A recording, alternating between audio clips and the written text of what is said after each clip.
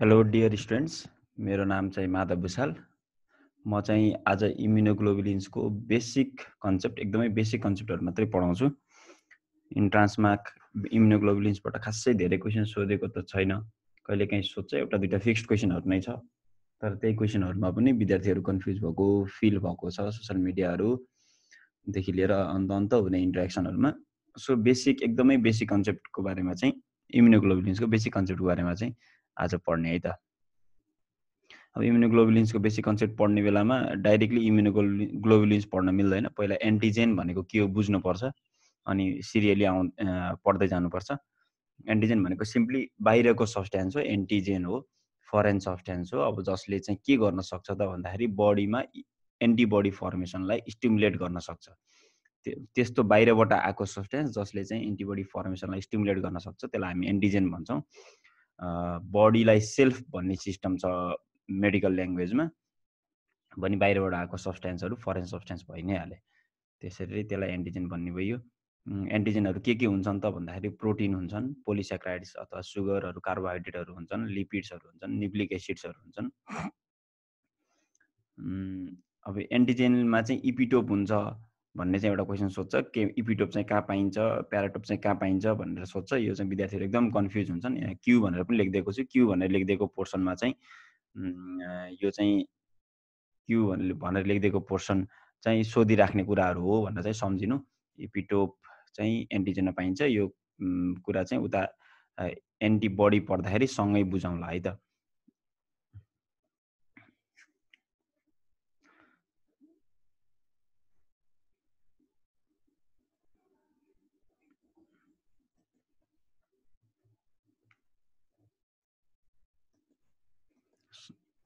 हेप्टेन्स हेप्टेन्स भन्ने पनि सँगसँगै पढ्नुपर्छ। हेप्टेन्स भनेको simply incomplete form of antigen हो। एकदमै सोधिराख्ने क्वेसन हो यो चाहिँ। एकदमै सोधिराख्ने question incomplete form of antigen भनेको के हो अथवा हेप्टेन भनेको के हो भनेर सोध्छ। क्यु भनेर लेखिदिएको छु याद गर्नु। इन्कम्प्लिट फर्म अफ एन्टिजेन हो। र यसलाई चाहिँ हामी के भन्छौँ? हेप्टेन भन्छौँ। यसले चाहिँ के गर्न सक्दैन त भन्दाखेरि एन्टिबडी फर्मेसन स्टिमुलेट गर्न सक्दैन। त्यही भएर यसलाई हामी हेप्टेन्स भन्छौँ।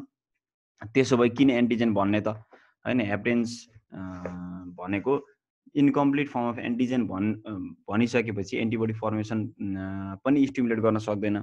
किन एन्टिजेन किन यसलाई एन्टिजेनको रूपमा मान्ने त? भन्दाखेरि इम्पोर्टेन्ट पार्ट के छ भन्दाखेरि यसले चाहिँ लार्जर मोलिक्युल पायो भने एन्टिबडी स्टिमुलेट गर्न सक्छ एन्टिबडी फर्मेसन स्टिमुलेट गर्न सक्छ भन्ने कन्सेप्ट छ। तर त्यो चाहिँ अब यसको हेप्टेन्सको क्यारेक्टरिस्टिक प्रपर्टी भयो।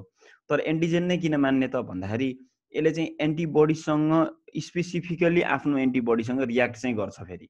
ह्याप्टेन्सले आफूले एन्टिबडी फर्मेसन स्टिमुलेट नगरे पनि उसको स्पेसिफिक एन्टिबडीसँग के गर्न सक्छ त भन्दाखेरि रियाक्सन गर्न सक्छ भन्ने चाहिँ कुरा छ। त्यो भएर के गरिन्छ यसलाई? ह्याप्टेन्स भनेर पढिन्छ इन्कम्प्लिट फर्म अफ एन्टिजेन भनेर। सो अब त्यसो भए बल्ल चाहिँ एन्टिबडीको कुरा आउने भयो। एन्टिबडी भनेको सिम्पली एन्टिबडी हो। एन्टिजेनको अगेन्स्टमा बडीले बनाउने बडी हो होइन? सो एन्टिबडी भनेको के रहेछ त भन्दाखेरि यसबाट सोधिराख्ने क्वेसनहरू चाहिँ glycoprotein produce against the antigen. Protein हो कि न्युक्लिक एसिड हो कि कार्बोहाइड्रेट हो कि फ्याट हो कि लिपिड हो कि के हो भनेर चाहिँ सोध्ने गर्ने एकदमै सोधिने क्वेसन हो एन्टिबडीमा चाहिँ। सिम्पली यो चाहिँ ग्लाइको प्रोटिन हो। प्रोटिन हो भनेर पढ्दा हुन्छ। एकदमै धेरै सोध्ने क्वेसन यसको एन्टिबडीको इम्पोर्टेन्ट पार्ट चाहिँ यही नै हो सेक्रेटेड बाई प्लाज्मा सेल। जुन प्लाज्मा सेल भनेको के हो त भन्दाखेरि केही पनि होइन बी लिम्फोसाइट नै हो तर डिफ्रेन्सिएटेड अझै स्पेसिफिक फङ्सनको लागि डिफ्रेन्सिएट भएको छ। बी लिम्फोसाइट अझै डिफ्रेन्सिएट भएर एउटा स्पेसल टाइप अफ सेल भन्छ जसलाई हामी प्लाज्मा सेल भन्छौँ। प्लाज्मा सेलको चाहिँ एकदमै इम्पोर्टेन्ट पार्ट चाहिँ छ। प्लाज्मा सेलबाट चाहिँ एउटा क्वेसन सोध्छ त्यसमा चाहिँ हामी के सम्झिनुपर्छ भन्दाखेरि कार्ट विल सेप्ड न्युक्लियस हुन्छ। कार्टविल सेप न्युक्लियस भएको सेलको नाम के हो भनेर कसैले सोध्यो भने त्यसलाई चाहिँ हामी के भन्नु पऱ्यो प्लाज्मा सेल भन्नु पऱ्यो यो चाहिँ सोधिराख्ने क्वेसन हो। प्लाज्मा सेलसँगै सम्झिने कुरा के रहेछ? कार्टविल सेप न्युक्लियस हुने सेलको नाम के हो? प्लाज्मा सेल हो। अनि सो एन्टिबडी केले फर्म फर्मेसन हुन्छ अथवा केले सेक्रेट गर्छ भन्ने क्वेसनमा विद्यार्थी एकदमै धेरै कन्फ्युज भएको फिल गरेको छु। सिम्पल छ फन्डा। केही पनि छैन।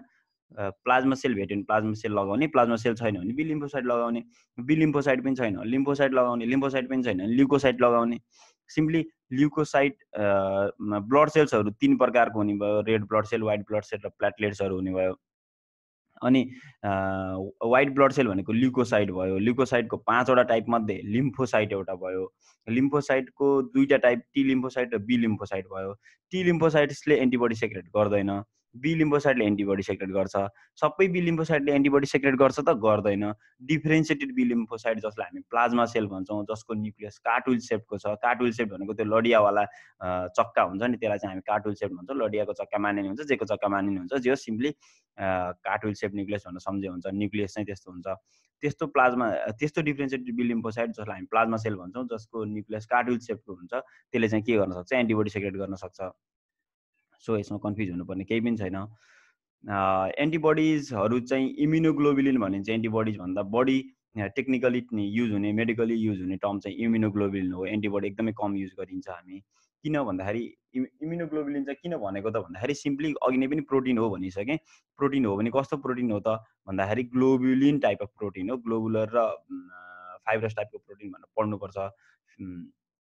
सो ग्लोबुलिन प्रोटिन हो। अनि यसले चाहिँ के गर्छ त इम्युन रेस्पोन्स सो गर्छ अथवा इम्युन रेस्पोन्सको लागि चाहिँ यो प्रोटिनहरू बन्छ बडीमा। जस्तो अहिले हामीले कोरोना भाइरसमा एकदमै धेरै जानिरहेको सुनिरहेको प्रोटिन बनाउँछ प्रोटिन बनाउँछ भनेर सुनिरहेको त्यो एन्टिबडी चाहिँ के हो त ग्लोबुलिन एन्टिबडी हो भनेर बुझ्नु पऱ्यो अनि इट कन्टेन्स प्याराटोप एकदमै सजिलो छ। अब यहाँनिर चाहिँ क्यु भनेर लेखिदिएको छु क्वेसन सोध्छ यहाँबाट। प्याराटोप एकदम मैले चाहिँ यसरी सम्झिन्थेँ इपिटोप र प्याराटोप कन्फ्युज हुन्थ्यो। त्यही भएर प्याराटोप भनेको प्यारो तोप हो। टोप होइन तोप हो प्यारो तोप हो तोप भनेपछि विद्यार्थीहरूलाई अलिअलि आइडिया पनि हुन्छ। प्यारो तोप आफ्नो बडीले बनाउने चिजहरू एकदमै प्यारो हुन्छ अनि तोपको जस्तो काम गर्छ। तोपले के गर्छ त भन्दाखेरि विदेशीलाई के गर्छ? एट्याक गर्ने काम गर्छ। प्यारो अनि तोप प्याराटोप है कसले बनाउँछ? बडीले बनाउँछ। प्यारो तोप चाहिँ आफ्नो बडीले बनाउँछ। त्यो चाहिँ एन्टिबडीमा पाइन्छ भनेपछि इपिटोप चाहिँ केमा पाइन्छ? एन्टिजेनमा पाइन्छ। स्ट्रक्चर चाहिँ स्ट्रक्चर चाहिँ खासै चाहिने त होइन तर यसको इम्युनोग्लोबुलिन्सको डिफ्रेन्ट टाइप्सहरू डिस्क्राइब गर्ने बेलामा स्ट्रक्चर नबुझिकन चाहिँ इम्युनोग्लोबुलिन्सको डिफ्रेन्ट टाइपहरू बुझ्न मिल्दैन भनेर मात्रै हो तर धेरै चाहिने चाहिँ होइन हायर लेभलमा चाहिँ स्ट्रक्चर पुरै जान्नुपर्छ त तिमीहरूको लेभलमा स्ट्रक्चर सिम्पली इम्युनोग्लोबुलिनको डिफ्रेन्सिएसनको लागि मात्रै हो तर बेसिक अन्डरस्ट्यान्डिङ चाहिँ म बुझाइदिन्छु। सिम्पल छ कुरा। स्ट्रक्चर चाहिँ यस यो चाहिँ यो देखाएको स्ट्रक्चर चाहिँ इम्युनोग्लोबुलिन जी आइजिजीको स्ट्रक्चर हो। आइजिजीको यहाँ सिङ्गल युनिटमा छ अथवा मोनोमर युनिटमा छ। आइजिएम चाहिँ एक दुई तिन चार पाँचवटा युनिटमा छ अर्थ पेन्टामरको युनिटमा छ भने आइजिए चाहिँ एक र दुई दुईवटा युनिट चाहिँ जोडेको छ डाइमरको फर्ममा छ। आइजिएको दुईवटा डिफ्रेन्ट फर्म हुन्छ डाइमर मोनोमर दुइटै फर्म हुन्छ। त्यसलाई अहिले एकछिनमा बुझाउँला आइजिएको पालो आउँदाखेरि। सिम्पली आइजिजी भनेको चाहिँ के रहेछ त? यो आइजिजीको स्ट्रक्चर रहेछ। आइजिजी चाहिँ इन्भर्टेड वाइस सेप्ड स्ट्रक्चर हुने रहेछ। इम्युनो इम्युनोग्लोबुलिनको स्ट्रक्चर कस्तो हुन्छ भनेर सोध्यो भने इन्भर्टेड वाइस सेप्ड स्ट्रक्चर भेट्यो भने इन्भर्टेड लगाउनु पऱ्यो इन्भर्टेड भेटेन भने वाइस सेप मात्रै लगाउनु पऱ्यो तर केही फरक पर्दैन। वाइस सेप भन्ने यो स्ट्रक्चर चाहिँ बुझ्नु पऱ्यो अनि आइजिजीको स्ट्रक्चरमा हेर त एउटा हेभी चेन यो बिचको ओरेन्ज कलरको चेनलाई चाहिँ हामी हेभी चेन भन्छौँ भने बाहिरको निलो कलरको चेनलाई हामी के भन्छौँ? लाइट चेन भन्छौँ। यो हेभी चेन ओरेन्ज कलरको हेभी चेन चाहिँ दुईवटा छ भने ब्लू कलरको लाइट चेन पनि दुईवटा छ। सो टोटल चारवटा चेनहरू मिलेर एउटा इम्युनोग्लोबुलिन बन्ने रहेछ। टोटल चारवटा चेन बनेर एउटा इम्युनोग्लोबुलिन बन्ने रहेछ। लगभग यो हेभी चेनको चाहिँ हेभी चेनको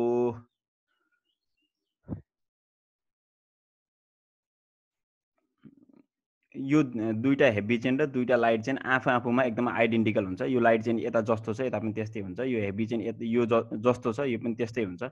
सेम हुन्छ।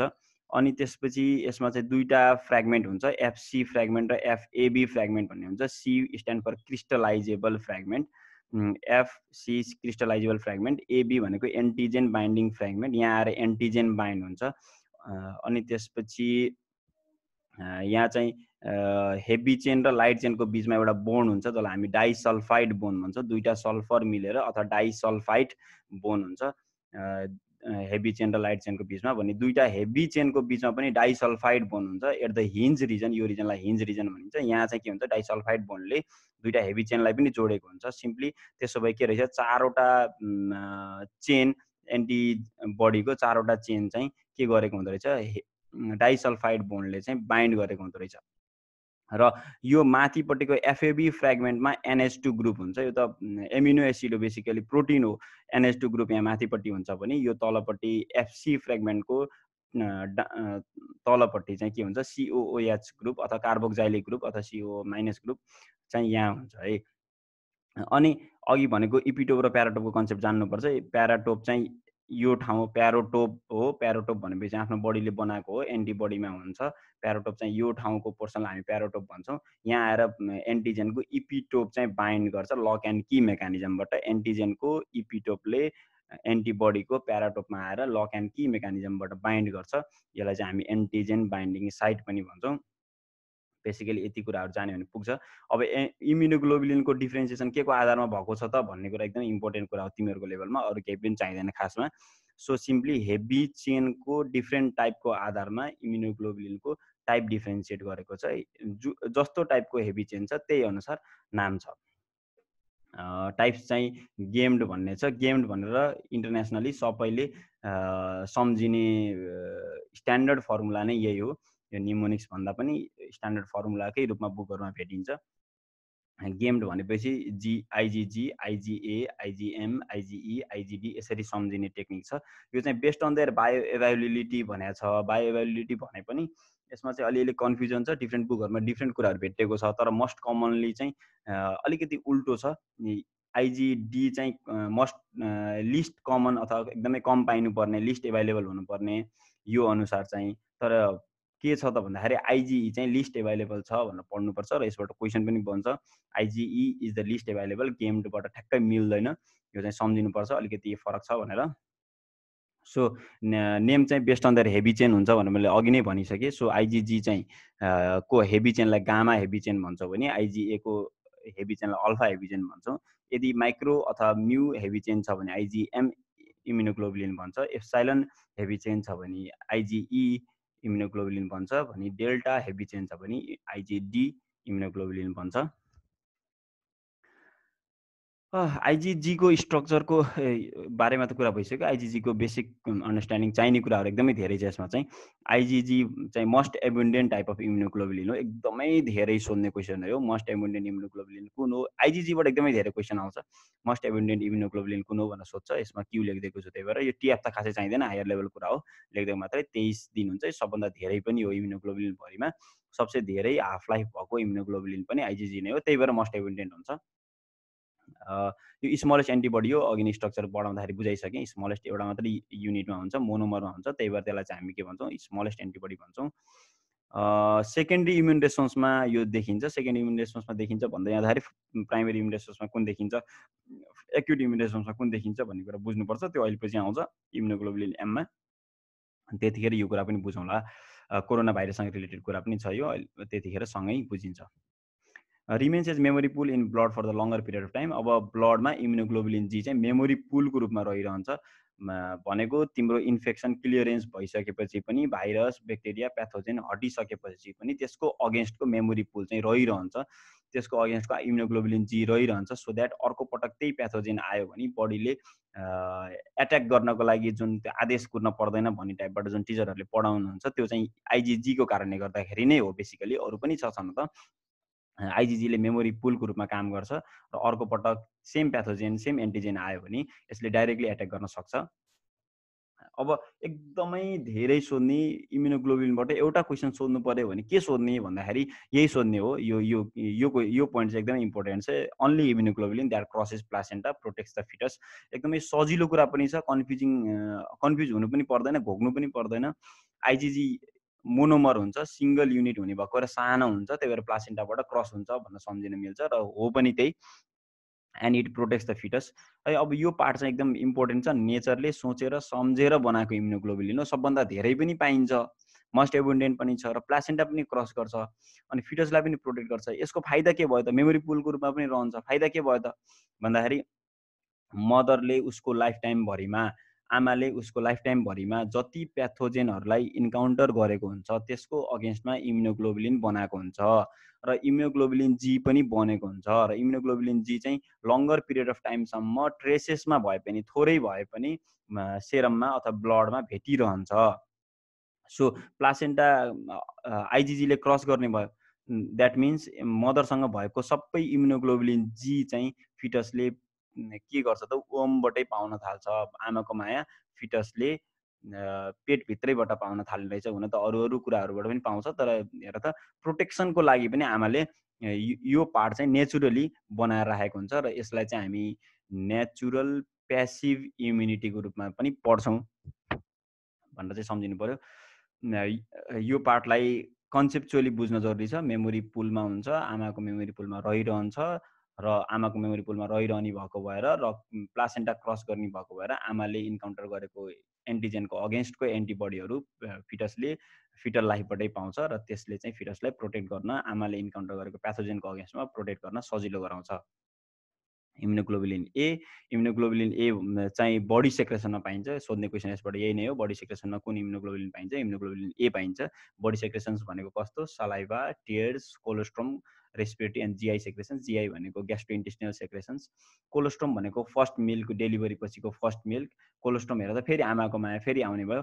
सबभन्दा धेरै पाइने जी आइजिजी त्यसपछि आइजिए हेर्दा लगभग दुइटा एन्टिबडी त आमाले नै दिने रहेछ।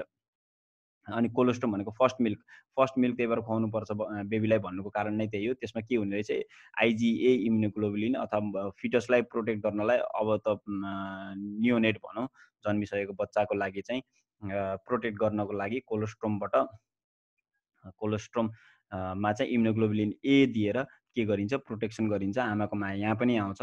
म्याक्सिमम् इम्युनोग्लोबुलिन त आमाले पहिल्यै दिइसकेको हुनुहुँदो रहेछ। त्यसपछि यो टियर्सको पार्ट पनि इम्पोर्टेन्ट छ। टियर्समा चाहिँ एन्टिब्याक्टेरियल एक्सन हुन्छ। त्यही भएर रुनु पनि स्वास्थ्यको लागि फाइदा हो भनेर कता कता कता गफ गरेको सुनिन्छ। लाइसोजाम साइजाम पनि हुन्छ हुन त। तर जे टियर्समा पाइने इम्युनोग्लोबुलिन के हो त भन्दाखेरि आइजी हो। एन्टिब्याक्टेरियल कम्पोनेन्ट हुन्छ भनेर पढिन्छ। त्यो चाहिँ याद गर्नुपर्छ। सलाइबा रेस्पिरेटरी जिआइसेक्समा पनि हुन्छ। अनि अब आइजिए चाहिँ म्युकोजल लाइनिङ्सहरूमा पनि पाइन्छ। म्युकोजा जस्तो जिआई सेक्रेसनमा पाइने भन्ने बित्तिकै म्युकोजाको लाइनिङमा पाइने भयो। अनि म्युकोजाको लाइनिङमा चाहिँ यसले एन्टिसेप्टिक पेन्टको रूपमा एउटा पेन्ट जस्तो भएर एउटा घरको पेन्ट भित्ताको बाहिरपट्टि टाँसे जस्तो आइजिए चाहिँ टाँसिएर बसेको हुन्छ अथवा चाहिँ त्यहाँ चाहिँ एउटा लेयर बनाएर बसेको हुन्छ। इम्युनोग्लोबुलिन ए को चाहिँ दुईवटा फर्म हुन्छ भनेर मैले अघि नै भनेको थिएँ मोनोमर र डाइमर सेरममा अथवा ब्लडमा भयो भने चाहिँ इम्युनोग्लोबुलिन ए चाहिँ मोनोमर हुन्छ सिङ्गल युनिटको हुन्छ भने अथवा सेक्रेटरीमा भयो भने मिकोजल लाइनिङहरूमा चाहिँ यो के हुन्छ त भन्दाखेरि डाइमरको रूपमा हुन्छ। डाइमरको रूपमा हुन्छ। अब इम्युनोग्लोबुलिनहरूको मोनोमर डाइमर ट्राइमर पेन्टामर यिनीहरूको कन्सेप्ट चाहिँ के छ भन्दाखेरि यिनीहरू यदि यिनीहरू चाहिँ के भन्छ जस डिफ्रेन्ट युनिट बनायो भने यिनीहरू डिफ्रेन्ट युनिट बनायो भने चाहिँ यिनीहरूलाई केले जोइन गर्छ भनेर सोध्छ सोधिहाल्न सक्छ। सोध्न त खासै सोध्ने कुरा त होइन। जे चेनले जोइन गर्छ जे भनेको जोइनिङ हो भनेर चाहिँ याद गर्नु। इम्युनोग्लोबुलिनहरू डिफ्रेन्ट युनिटमा बस्यो भने डिफ्रेन्ट मोनम्बर डाइमर बनाएर बस्यो भने जे चेनले चाहिँ जोइन गर्छ भनेर चाहिँ सम्झिनु पऱ्यो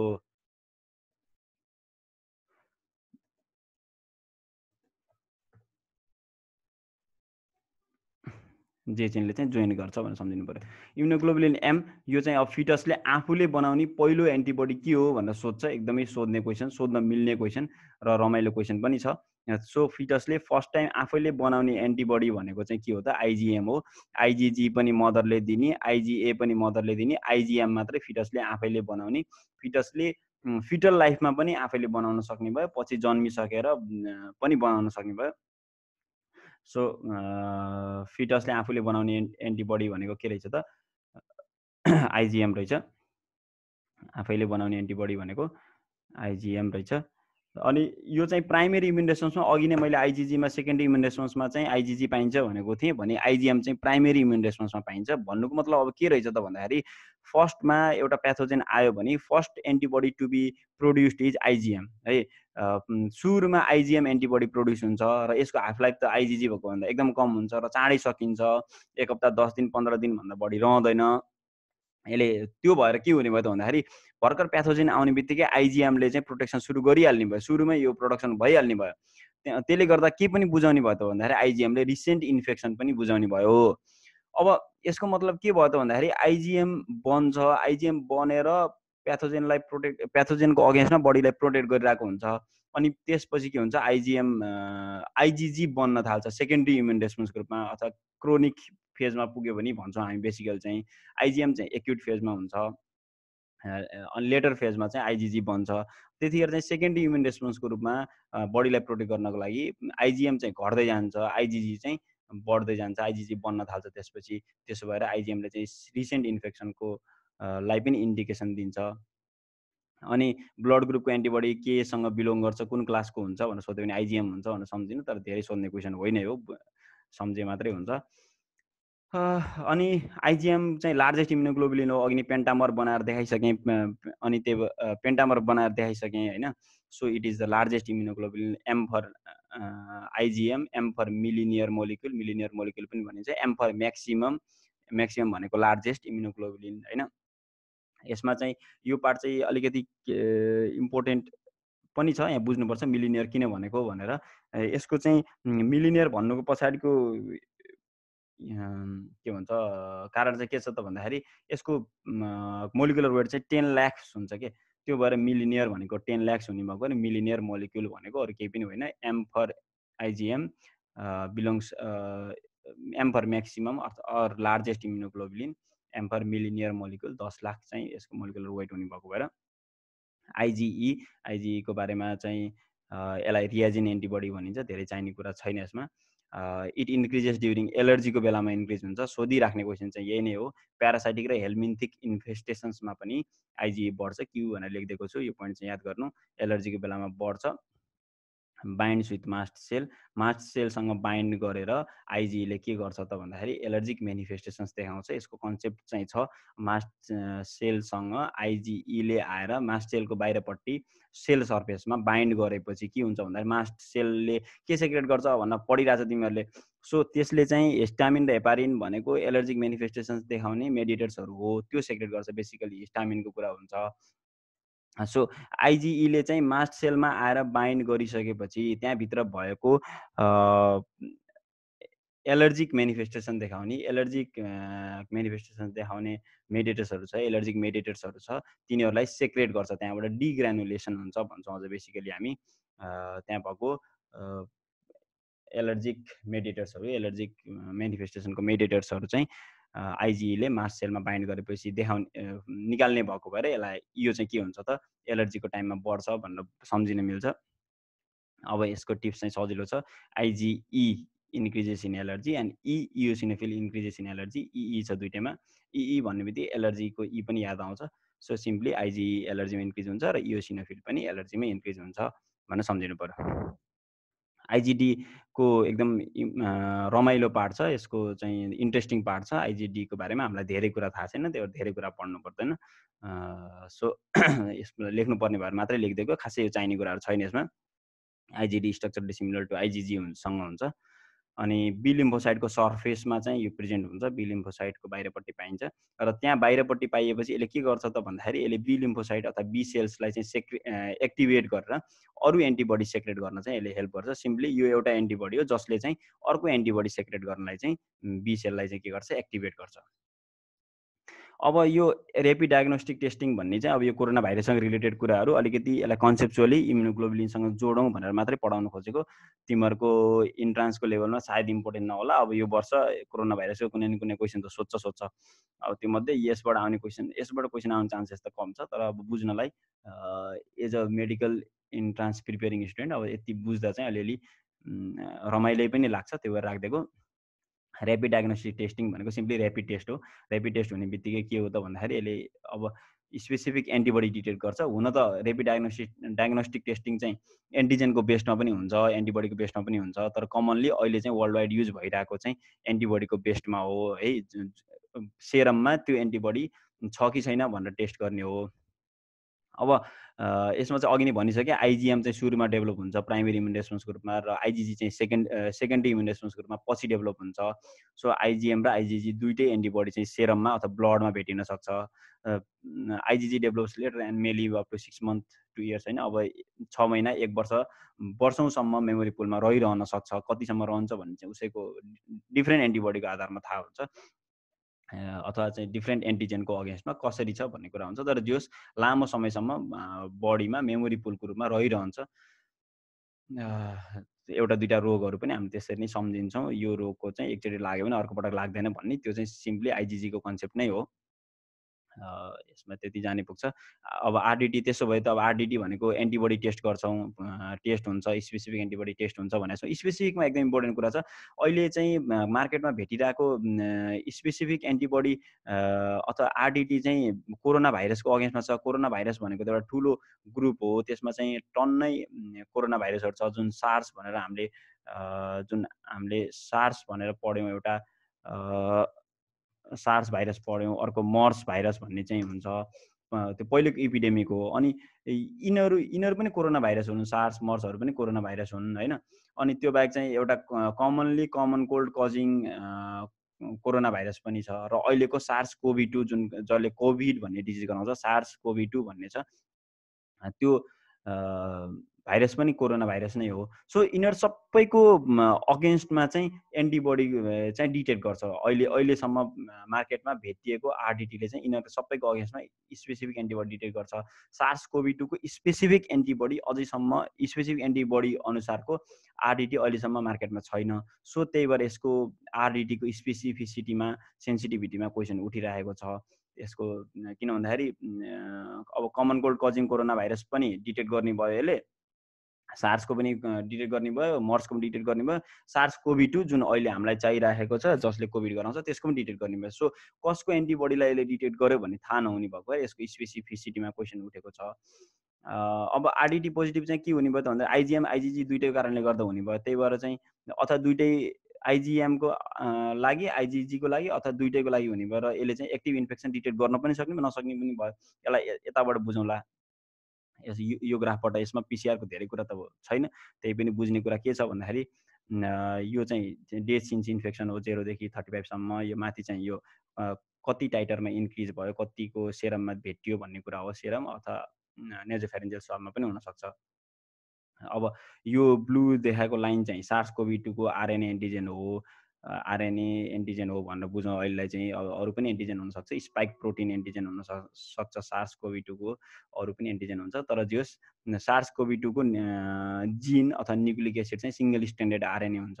यो आरएनएलाई चाहिँ डिएनएमा कन्भर्ट गर्नको लागि चाहिँ रिभर्स ट्रान्सक्रिप्टेज पिसिआर युज गर्नुपर्छ पहिला। अनि त्यसपछि त्यसलाई रियल टाइम पिसिआर आरटिपिसिआर भन्दा एकदमै कमन छ कमनली सुनिराखेको छ अहिले आरटिपिसिआरमा लगेर त्यसलाई चाहिँ डिटेक्ट गर्नुपर्छ। अब यो इनिसियल फेजमा जतिखेर भाइरल लोड एकदमै कम हुन्छ त्यो टाइममा त पिसिआर मेसिनले पनि नसमात्न सक्छ। तर समात्न त अब समात्छ भनेर पढ्छौँ हामी। त्यसैको आधारमा सेन्सिटिभिटी चाहिँ सिक्सटी सेभेन सिक्सटी एट कति सेभेन्टी कति पर्सेन्ट भनेर पढ्नुपर्छ त्यो चाहिँ नेजोफेरेन्जियल स्वापको लागि हो। So simply viral load high भएको बेलामा पिसिआरले समात्छ। त्यसले चाहिँ के गर्छ त भन्दा सिङ्गल स्ट्यान्डर्ड आरएनएलाई डबल स्ट्यान्डर्ड डिएनए बनाएर त्यसलाई त्यसलाई चाहिँ रियल टाइम पिसिआरमा चारदेखि छ घन्टाको टाइमको ड्युरेसनको बिचमा के गर्छ त त्यसले एन्टिबडी एन्टिजेन छ कि छैन सिङ्गल स्ट्यान्डर्ड आरएनए अथवा डबल स्ट्यान्डर्ड डिएनए छ कि छैन भनेर डिटेक्ट गर्छ। पिसिआरले पिसिआरले चाहिँ डिएनए मात्र डिटेक्ट गर्छ है आरएनए डिटेक्ट गर्दैन। त्यही भएर त्यसलाई के गर्नुपर्छ रि रिभर्स ट्रान्सक्रिप्टेज इन्जाइम युज गरेर के गर्नुपर्छ डिएनएमा कन्भर्ट गर्नुपर्छ। सो सिम्पली जेरोदेखि अठाइससम्म यसरी चाहिँ आरएनए डिटेक्ट गर्न सकिन्छ। अब आइजिएम अब एन्टिबडी चाहिँ आज भाइरस पस्यो आज नै चाहिँ बन्दैन। इम्युनिटी देखाउन अथवा इम्युन रेस्पोन्स देखाउनको लागि बडीले अलिकति टाइम लगाउँछ। त्यो चाहिँ तिन चार दिन पाँच सात दिन हेरेर हुन्छ। सात दिनमा भनेर लेखेको यसले। अब यो टेक्निकली सबै कुरा करेक्ट छ भन्ने छैन तर यसको कन्सेप्चुअल पार्ट इम्पोर्टेन्ट छ। चार पाँच दिनमा पनि बन्न सक्छ। सात दिनदेखि आइजिएम चाहिँ बन्न थाल्छ र डिटेक्टेबल हुन थाल्छ। ब्लडमा डिटेक्टेबल पनि हुनु पऱ्यो अब हामीले पिसिआर गर्नको लागि चाहिँ नेजोफेरेन्जियल स्वाब युज गर्छौँ। त्यहाँ चाहिँ आरएनए भाइरस नै भेटिन्छ। अनि त्यहाँ चाहिँ हामी आरएनएलाई डिएनए बनाएर टेस्ट गर्छौँ भने इम्युनोग्लोबुलिन त ब्लडमा भेटिन्छ। सो ब्लडमा भेटिने इम्युनोग्लोबुलिनको लागि चाहिँ हामी ब्लडै अथवा सेरम लिन्छौँ ब्लड लिन्छौँ। त्यसमा चाहिँ आइजिएम डिटेक्टेबल हुने भयो यसरी सात दिनदेखि एक्काइस दिनसम्म। यसको त आफूलाई पनि थोरै छ त्यही भएर चाँडै सकिन्छ बढ्यो अनि सकिसक्यो। यसले के गर्यो त भन्दाखेरि प्राइमेरी इम्युन रेस्पोन्समा यसरी आइजिएम बन्दै बन्दै बन्दै बन्दै गयो र अब बडीले रिकभर गर्न थालेको फेजमा चाहिँ आइजिएम पनि घट्न थालिसकेको हुन्छ। अनि त्यसको बिचमा बिचतिरै के हुन्छ आइजिजी बन्न थाल्छ चौध दिनबाट आइजिजी बन्न थाल्छ अनि के गर्छ लाइफ लङ अथवा लाइफ लङ त हुन सक्छ नहुन सक्छ लङ टर्म भनौँ न। कुनै डिजिजमा लाइफ लङ हुन्छ कुनैमा लङ टर्म हुन्छ। लङ टर्म इम्युनिटी छ महिना एक वर्ष दुई वर्ष पाँच वर्ष दस वर्षसम्मको के गर्न सक्ने भयो त्यसले? इम्युनिटी देखाउन सक्ने भयो। अब यसको कन्सेप्ट चाहिँ अघि नै मैले बुझाउनु खोजेको पार्टमा चाहिँ थियो। जस्तो के हुने भयो त भन्दाखेरि एक्टिभ इन्फेक्सन बुझाउन पनि सक्ने भयो नसक्ने पनि भयो। किन भन्दाखेरि जस्तो यदि यो टाइममा आइ हामीले आरडिटी गऱ्यौँ भने त यो टाइममा त आइजिजी त पोजिटिभ छ तर पेसेन्टले त रिकभर गरिसकेको छ रिकभर रिकभरको फेजमा गइसक्यो रिकभर पनि भइसक्यो होला। सो यो टाइममा पनि आरडिटी पोजिटिभ भेटिने भयो वर्षौँसम्म पनि आरडिटी पोजिटिभ भेटिने भयो त्यो भएर आरडिटी चाहिँ रिलायबल हुन्न। आरडिटी चाहिँ कहिले युज गर्ने हो त अब अहिलेसम्म त अथेन्टिकेट आरडिटी त आइसकेको छैन। इनकेस अथोराइज आरडिटी आयो भने डब्लुएचओ लगायत ठुलो संस्था सिडिसीहरूले एफडिएहरूले चाहिँ त्यसलाई अथोराइज गर्यो भने त्यो चाहिँ रिसर्च पर्पजको लागि युज गरिन्छ। हाम्रो पपुलेसन चाहिँ कति चाहिँ यो कोरोना भाइरस स्पेसिफिक अझै स्पेसिफिक सार्स कोभिड टूसँग इन्फेक्टेड थियो भनेर टेस्ट गर्नु पऱ्यो भने हामीले आरडिटी टेस्ट अथवा इम्युनोग्लोबुलिन जीको टेस्ट पछि गऱ्यो भने सर्भिलेन्सको लागि काम लाग्ने भयो। त्यसले गर्दा हर्ड इम्युनिटीको फेज कहाँ छ कन्ट्रीको भनेर पनि थाहा पाउन सक्ने भयो। तर अब आइजिएमको डिटेक्सनले चाहिँ एक्टिभ इम्युनिटी भन्न सक्छ। तर सबै एक्टिभ इम्युनिटीमा आइजिएम छ भन्ने पनि छैन। यहाँ जेरोदेखि सेभेन डेजसम्म त आइजिएम छँदै छैन। सो आइजिएम पनि रिलायबल त भएन। तर आइजिएमको डिटेक्सन भनेको बेसिकली एक्टिभ इम्युनिटी अथवा प्राइमेरी इन्फेक्सनको कुरा चाहिँ हो भने आइजिजी चाहिँ चौधदेखि चौध दिन अब यो चौध दिन ठ्याक्कै चौध दिन भन्ने त हुँदैन। बाह्र दिनमा पनि हुनसक्छ बिस दिनमा पनि हुनसक्छ। सो आइजिजी चाहिँ लेटर पार्टमा चाहिँ बन्छ। अनि त्यसपछि आरडिटी पोजिटिभ देखाउन थाल्छ। कुनै बेला चाहिँ आइजिएम र आइजिजी दुइटै पोजिटिभ पनि हुनसक्छ एकैचोटि। अहिले नेपालमा सुरुमा आएको आरडिटी चाहिँ कुन आइजिएम आइजिजी भन्ने थिएन दुइटैको मिक्सडवाला थियो। अहिले चाहिँ आइजिएम आइजिजी दुइटै डिटेक्ट गर्नेवाला आरडिटी आएको छ अरे भन्ने सुन्नेको छ। जस यो पार्ट भन्दा पनि मेन कुरा चाहिँ बुझ्नुपर्ने पिसिआरले चाहिँ सुरु दिनबाटै समात्न थाल्छ भने एन्टिबडी टेस्ट अथवा आरडिटी टेस्टले चाहिँ सात दिनपछि अथवा एन्टिबडी बनेर टाइटर चाहिँ ब्लडमा अलिकति धेरै भएपछि मात्रै समात्न सक्छ र पछिसम्म पनि समात्न सक्ने भएको भएर यस यसको रिलायबिलिटी रिलायबिलिटी अलिकति कम छ। ल अब यति भएपछि इम्युनोग्लोबुलिनको बेसिक कुराहरू सकिन्छ।